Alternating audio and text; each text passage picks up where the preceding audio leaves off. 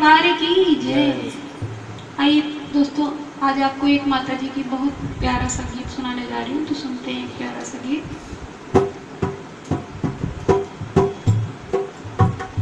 भक्ति आई